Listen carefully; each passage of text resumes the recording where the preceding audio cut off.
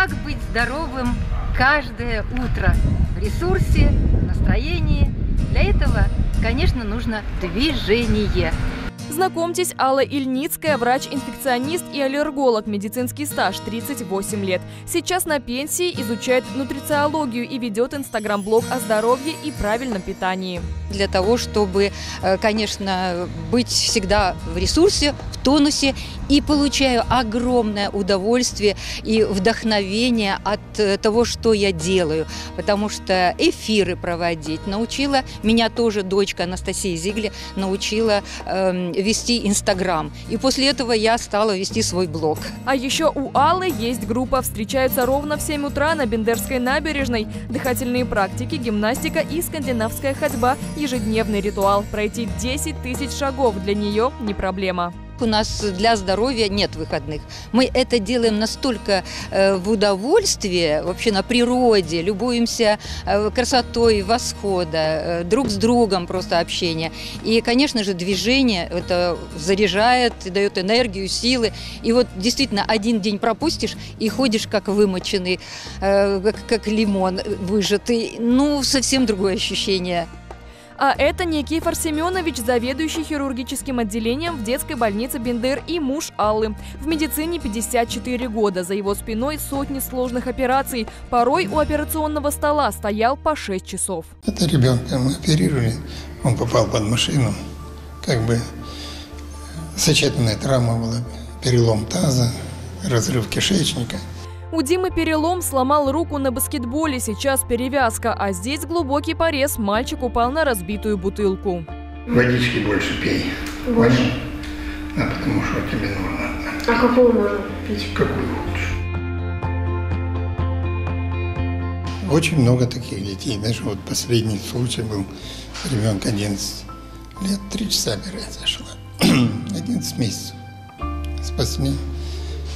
Многие падения с высоты, разрыв кишечника, разрыв селезенки, такие случаи спасания практически сколько помню. Никифор и Алла больше 50 лет вместе. На прошлой неделе, 14 февраля, отпраздновали 48 лет со дня свадьбы. В гостях внучка Кристина сейчас учится на четвертом курсе медколледжа. Мечтает стать медсестрой. Вдохновили бабушка с дедушкой. Также мне очень э, интересно было э, как бы помогать людям э, именно э, с какими-то тяжелыми там, ранениями. Там. Мне было очень интересно это. Именно вот в процессе этом участвовать и знать про заболевания, все. Вот. Любимый торт «Наполеон» – сюрприз для любимой жены от мужа. Каждый день можно устраивать сюрприз, если хочешь. Вот сюрпризы каждый день цветы. Да что-нибудь, ну, всегда можно придумать. Просто пойти погулять по городу. Это тоже сюрприз. Вечером нет, нечего сидеть, пойдем погуляем. Чтобы просто быть в тонусе. Да. И все. У нее задание есть. 10 тысяч шагов она должна сделать. Да, я обещала. Познакомились на вручении студенческих билетов в Одесском мединституте, потом вместе сидели за одной партой. Ты сидел тогда с группой мальчиков, и мы спускались э, получать эти билеты. И помню, вы так смеялись над тем, как мы спускались. Я не знаю, чего вам так было весело. Да было свое. Но мы... Да, но мы, конечно, это очень смущались. Я такая еще гордая всегда.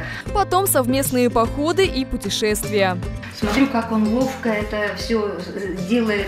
Э, палатку, раз... Э, если он разбирает все, я смотрю, у него такие сильные, красивые руки и так он все э, аккуратно и ловко делает, и я просто влюбилась в его руки прежде всего.